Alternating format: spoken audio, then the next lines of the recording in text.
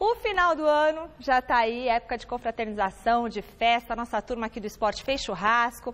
Tem também aquele momento de solidariedade. Se dá para unir as duas coisas, aí é muito bom, né? Festa com solidariedade. Foi isso que aconteceu no último final de semana com a partida beneficente entre amigos do Flávio Prado e amigos do Derlei. Vini Rodrigues esteve lá, entrou em campo e agora mostra como foi esse jogo festivo. No campo, amigos de Flávio Prado contra os amigos de Derlei. De um lado, o renomado jornalista.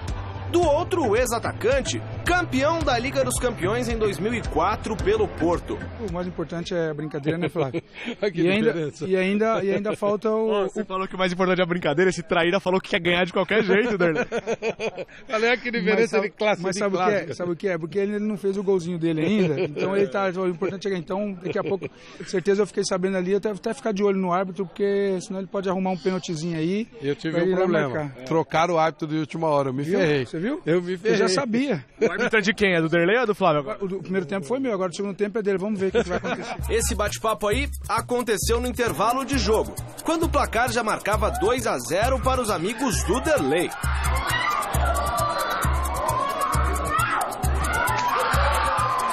O nosso querido Flávio Prado teve uma atuação lamentável.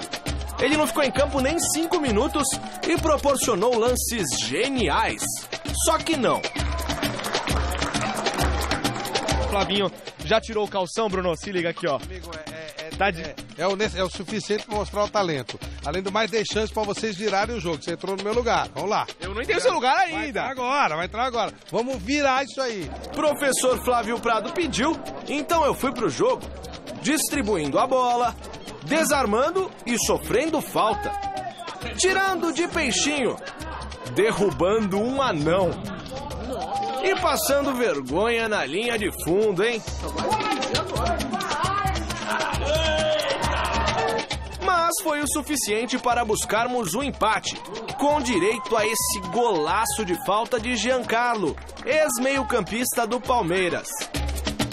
O nosso goleirão Fernando Richter ainda salvou o time da derrota com essa defesaça no finalzinho e ficou no 2 a 2. Mas a vitória vai mesmo para a solidariedade da população, que ajudou a arrecadar quase 100 quilos de alimentos. Flavinho, virou 2 a 0 para os caras, terminou 2 a 2 para nós. Eu sei reconhecer quando o cara é Vai, vai rolar um pi aí, né? E vocês foram. Vem cá, vocês foram, vocês foram. Reconheço, reconheço. Salvaram o meu time, garoto. Ó. Salvaram o meu time. Boa, legal. Ó, dei o sangue, ó. Cortei é, o dedinho, cara. Ih, vê, pô. empatou por isso, né? Porque entrou o time da máfia, né, Flávio? Da, máfia, da, da, mesa quadrada. Pô, que legal. Boa. Eu sei reconhecer. Obrigado, meninos. Ó, ó, ó, ó, ó. Ah, agora sim. Rapaziada, com esse símbolo de amor que a gente encerra a matéria. Bom final de ano aí pra todo mundo e um abraço. Tchau, tchau. Valeu! Muito legal.